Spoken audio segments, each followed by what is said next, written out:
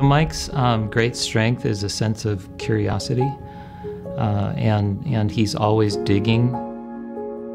He sees humor in everything. As we're talking about technical topics, or we're talking about product designs or competition, there's always something more interesting and funny that you can apply to it, and that's just kind of the way Mike's personality is.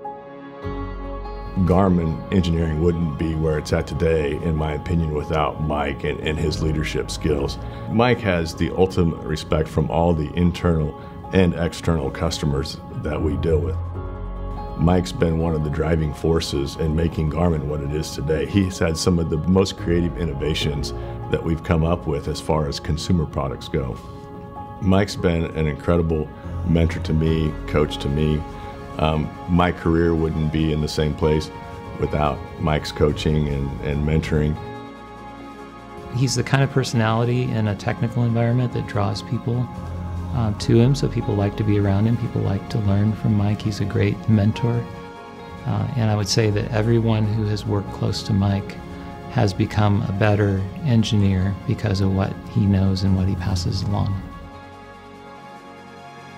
Mike and I both went to K-State at the same time. We were both double E's. We enjoyed our K-State brotherhood all over the world, actually, wearing purple in Taiwan, for instance. And he is uh, good at understanding what's important in developing the relationships that help his company move forward. So not just pure engineering, but business skills.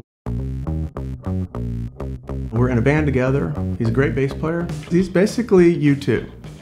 I mean, in essence, I'm telling you what, he has so much fun on stage. I'm the lead singer, I'm supposed to be the outgoing one, but I get a little nervous and then I look over at Mike and he laughs and he's got some cool shirt on and red shoes and makes a funny face and then I'm good.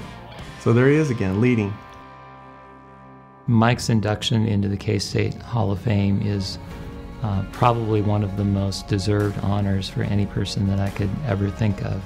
Mike, Congratulations on being inducted into the Hall of Fame. It is so amazing, so deserved, and I'm so proud of you and very excited that I have yet another thing to brag about.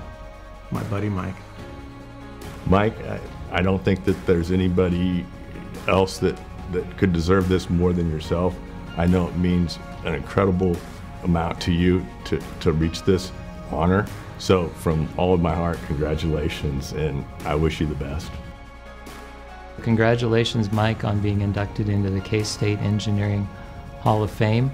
I think we're all inspired by what you have done, and I hope that your um, uh, being honored in this way will help inspire other young people to, to uh, be just like you.